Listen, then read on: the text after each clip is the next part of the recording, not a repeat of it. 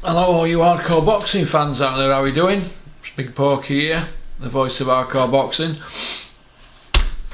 Should Antonio Tarver be a first ballot Hall of Fame? Yeah, I think he should, because he fought in that era, didn't he? Glenn Johnson, Roy Jones, Dawson, Montel Griffiths, Griffin is it or Griffiths, Clinton Woods. He fought in a great era and he's got a great record.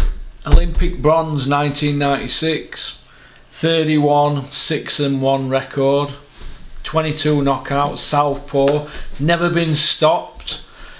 I just think that he should be a first ballot Hall of Fame. Looking at some of the people that go in Hall of Fame, he, he should be nailed on, shouldn't he? Olympic medalist and seven wins over world champions, former, current, and future. Seven same as Marvin Hagler or Marvelous Marvin Hagler and Sugar Ray Leonard. Nigel Benn, seven wins over world champions. So he should be in the Hall of Fame, right? But then again, Nigel Benn's not in the Hall of Fame, is he? So maybe I'm contradicting myself. But Nigel Benn's not got an Olympic medal, has he? Like Tarver. And Tarver's record's a little bit better than Nigel Benn's, in it? I just think he, sh he should be nailed on for it. Uh, that's just my opinion. I think he's a great fighter, and I just don't think he gets as much respect out of the boxing community as some other people. You know, people who are probably more popular on social media or people who are in the right place at the right time, or basically kiss asses.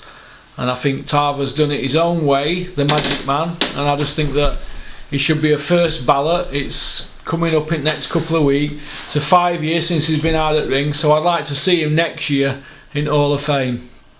Alright, so peace out, keep on trucking, keep supporting boxing. Shout out to my pal Robin Reed's multi multivitamin business. Bit cringe that in it, but gotta help your pals, aren't you? So peace out.